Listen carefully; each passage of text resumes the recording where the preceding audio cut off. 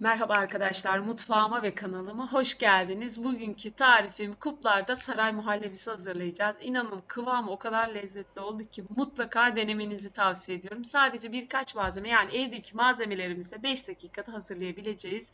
Hemen sizleri daha fazla bekletmeden tarifin yapım aşamalarına geçelim. İlk önce e, tatlımızın şerbet kısmını hazırlıyoruz. 1 adet yumurta sarısını tencereye alıyorum. Bu esnada ocağı asla yakmıyoruz.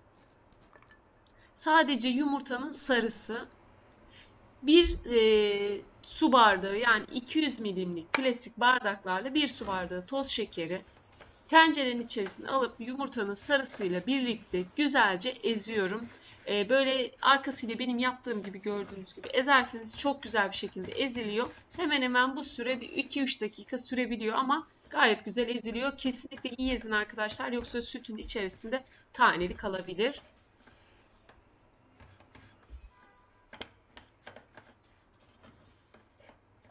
Yumurta, şekeri güzelce ezdikten sonra şimdi içerisine 1 litre süt ilavesi yapıyorum.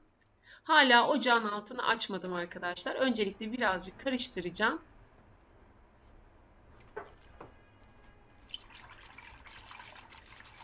Tamamen karıştığından emin olduktan sonra ocağın altını yakıyorum. Sadece süt ısınıp şeker içerisinde eriyene kadar ılık bir kıvam olması gerekiyor. Sakın kaynatmayın yumurtalarınız bu sefer hoş bir e, görüntü vermeyecektir. Toplasanız şöyle 1-2 dakikada ısındı zaten. Hemen onu arka tarafa alıyorum. Diğer tenceremde unla tereyağını kavuracağım. 100 gram tereyağını tencereme alıp eritiyorum.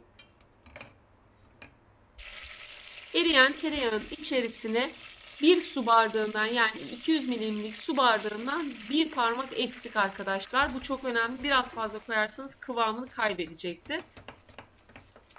Unu da ilave edip hafif böyle kokusu çıkana kadar çok olmadan sakın çorba falan yaparken yaptığımız gibi değil. Çok hafif bir kavuruyoruz gördüğünüz gibi.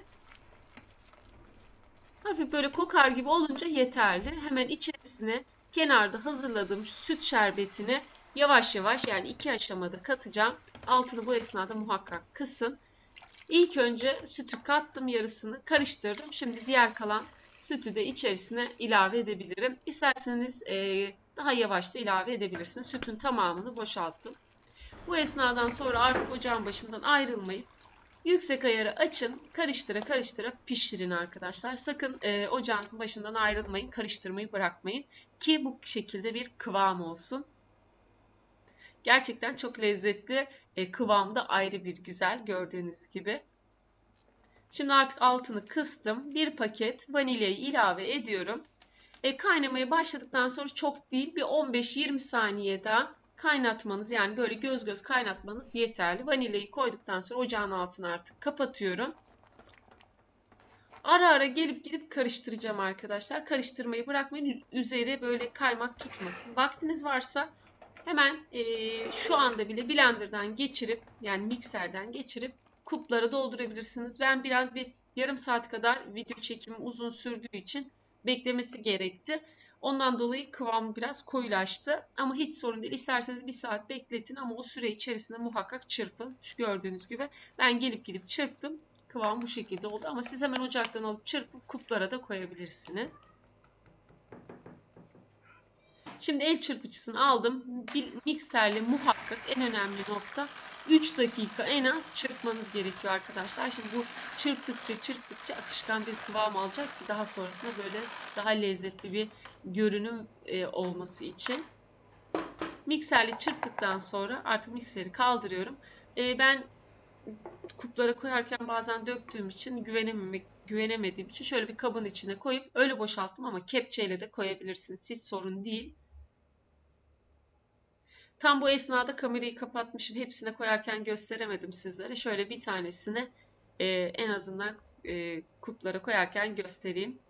Döktüm, yeniden yıkadım. Yeniden sizlere göstermek adına o anda kameramı kapatmışım. Hatta böyle bir tane daha azıcık da olsa dibinde kalmış ama görüntüsünü görüyorsunuz arkadaşlar kıvamı. Hele ki soğuduktan sonra da ayrı bir lezzetli. Şimdi dolaba kaldırıyorum. En az şöyle 1 saat 2 saat dinlenmesi yeterli bile gelecektir. Üzerine Fındığı kırdım yani güzelce ezdim. Üzerine koyuyorum. İster Hindistan cevizi isterseniz tarçın bile koyabilirsiniz. Fındık, ceviz ne seviyorsanız üzerine koyup servis edebilirsiniz. Mutlaka denemelisiniz az malzemeyle. En kolay yapılabilecek bence sütlü tatlı diyebilirim. Ben artık e, videomu bitireyim arkadaşlar. Sizler bu güzelliğin son halini izlerken birden 10'a kadar videonun yorum kısmına puanlarınızı bekliyorum. Kanalıma hala abone değilseniz abone olmayı, beğenmeyi, arkadaşlarınıza tavsiye etmeyi, kenardaki zil sesini açıp e, videolarımdan ilk önce haberdar olabilirsiniz. İzlediğiniz için teşekkür ederim. Bir dahaki videolarda görüşmek üzere. Hoşçakalın.